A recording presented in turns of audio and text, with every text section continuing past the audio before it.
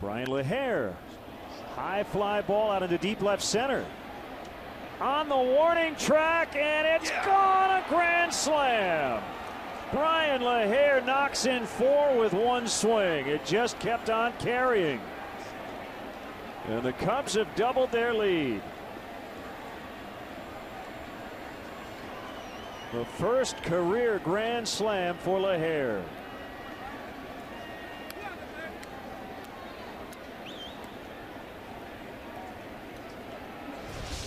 What great approach by Bryan LaHair. He's shown that opposite field power in the past. Wasn't sure about this one. Hit high in the air to left center. Can't really feel a lot of wind here at Busch Stadium tonight, but just enough to get it into the Cubs bullpen.